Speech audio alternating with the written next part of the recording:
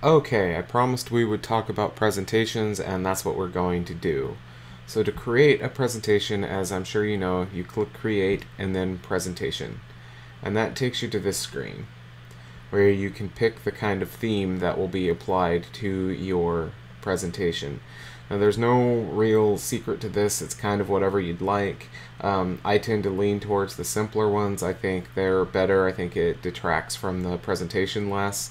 I think kind of the more ostentatious presentation themes like these, I think they're I think they're a little bit distracting. Um, but that's my opinion. Not everybody thinks that, and this is a lot of this is sort of opinion. So actually, let's just pick one that I don't normally go with. Let's take Swiss for whatever reason, that one's kind of drawing my attention. So you click OK and you're presented with this screen. Now, it kind of gives you instructions. You can click to add your title and then a subtitle. Now, and that's sort of kind of it, and then you can go through and add new slides with information. Now, unfortunately, it's a little bit outside of the scope of this class for me to go into what makes a good presentation. Transitions, I'm sure you've seen, they are when you go from one slide to a next and they have some kind of animation or something. The easiest way to add a transition is when you're on a slide, kind of click in this, if you're in a text editing area, you won't have the option, but if you click in sort of this gray area, you can click transition, and then you can add whatever transition you'd like. So let's do fade. You can click play to get kind of a preview to see what that would look like, and you can change that as much as you'd like. You can have slide from the left. I'm kind of fond of the cube presentation. I think that looks neat. And then you can kind of just, you stop it go to the next slide and you can change your transition there. So this way we can see it'll go from one side to the next. And that's really that's about it. I've uh, linked a couple of resources for kind of more information on slides. Um, my philosophy on presentations as less is more. I think it's better to have one or two topics on a slide and to kind of talk about those and then move on to the next. The slides should support what you're saying. It shouldn't be everything you're saying. Uh, that's my kind of opinion. And of course, you can insert tables, um, you can insert images, you can do the web clipboard thing. So if you've copied tables from previous. So if you click here and click edit, you can go to web clipboard and this should all look, look familiar to everybody. You can insert graphs from spreadsheets. One thing that's kind of handy is as you're moving images and things around, it gives you these guides so you kind of know if it's centered on the page or not. Everything you've learned in documents applies to presentations, but the only thing that's different is how the slides are set up. So you can pick different themes kind of. So here you have two columns. This one you have one big main body. This one is a title and subtitle. Really how you use them is up to you. That's sort of a personal preference. There are some theories and ideas on what's more effective, but a lot of that is really up to the person giving the presentation. And of course, you can change the background color. I famously gave a presentation on um, St. Patrick's Day, and everything was green. It was I thought it was awesome. Nobody else did.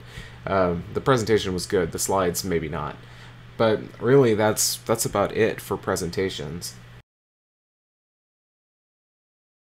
Okay, for the tech overview this week, I want to talk about Khan Academy. Now, I hope most of you are familiar with it. It's pretty neat. It has a lot of information. There are some really good videos and really good resources.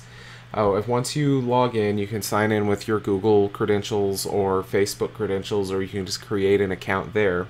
And when you click on Learn, you have all of these different options. They have goals, knowledge map. You can learn stuff about math, different science topics, uh, economics, humanities, all kinds of things. What I want to point out is computer programming. They have some pretty amazing resources for learning how to program. It takes you through what is programming, how to make programs, logic loops, uh, control structures, everything that you need to know. The one thing that's really handy is the guy that's their dean of computer science. His name is John Resig. He created the JavaScript language, and also, if you've heard of the jQuery library for JavaScript, he's responsible for that as well. He's definitely a power player in computer science and the field of computers in general and their curriculum is really really handy uh, i definitely recommend it if you want to learn about computer programming we're probably going to come back to this later on if we get there in time uh, to kind of go over some of the topics in computer programming. So I really highly recommend checking out the Khan Academy if you need help with anything from math to physics to computer programming. It's it's very much worthwhile homework. So homework this week is going to be similar to past weeks, mostly just multi multiple choice and true false stuff. That may change uh, a little bit because I haven't quite finished it yet, but um, I will update the document that I send out as time goes on. Next week, we're going to cover a little bit more on if and match, uh, maybe a few other formulas. I'm thinking about looking at VLOOKUP. I don't know that it's that important to cover it. It's a powerful, powerful function, but not many people use it. Uh, if and match will do the same thing and are a little bit easier. They're not as efficient. But anyway, we'll get into that next week. Um, I also want to start looking into basic computer hardware. So uh, start looking at, you know, what does it mean that something has, you know, 10 teraflops or whatever. What is that? Um, I want to look at binary and memory management, memory addressing, and things like that nature. It's going to get a little bit more technical, but not too, too much. And the week after that, I want to cover a little bit more computer hardware, pick up anything we've missed with the document suite, and review for the midterm. Doo doo. Right. Um, I hope everything goes well for you guys, and I will, well, you will see me next week.